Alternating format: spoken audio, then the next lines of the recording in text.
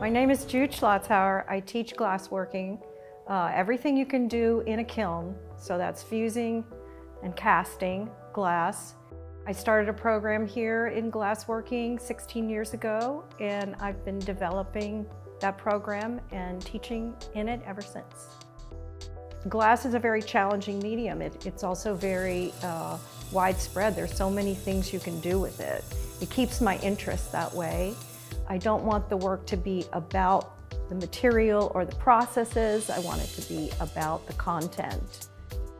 I've always loved teaching and I enjoy people and I enjoy imparting to people the things that I know. I teach techniques, but I also teach design and I also try to create an environment where people come and they're happy and they're uh, safe they can come into my class stressed out and they leave feeling calm and fulfilled and joyful. The classroom experience was fantastic. You come together with a group of six or eight people along with the instructor and Jude is able to help all of us, whether there's a beginner in the class or an advanced person in the class. All the people work together. If one person is making something and you want to know how they did it, they'll tell you. Um, the camaraderie is fantastic. It's what makes uh, VisArts exciting is the fact you get to learn not only from the instructors, but from the other people. Jude certainly helped me to gain confidence as an artist in my own abilities. She taught me ways to feel more comfortable with letting things flow in the way that they do with glass and to feel comfortable with it and to enjoy that. Art matters, it, it makes me think. It provides an outlet for my creativity. Things that I think of that I would like to make, I have to figure out a way to make them and how to make them. And through art, I'm able to express my thoughts in the pieces that I make. Art matters to the community because art is important in our lives and it's what makes people feel connected to humanity. Art helps a community to be more vibrant. It helps us to feel challenged and to challenge each other. It helps us to communicate and to stretch ourselves.